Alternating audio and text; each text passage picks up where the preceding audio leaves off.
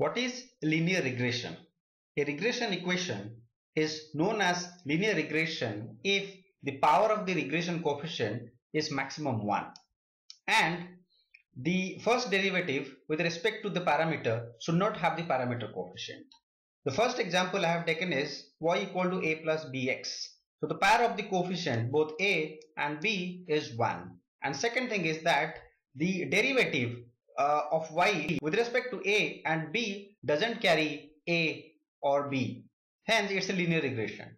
If you take the second example y equal to a plus b square x. The power of the coefficient b is 2. Hence it's not a linear regression equation. So what about the third regression equation?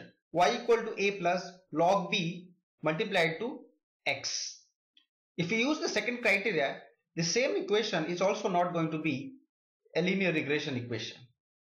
Hence, out of the three equations, hence, out of these three regression equation, only the first one is a linear regression equation.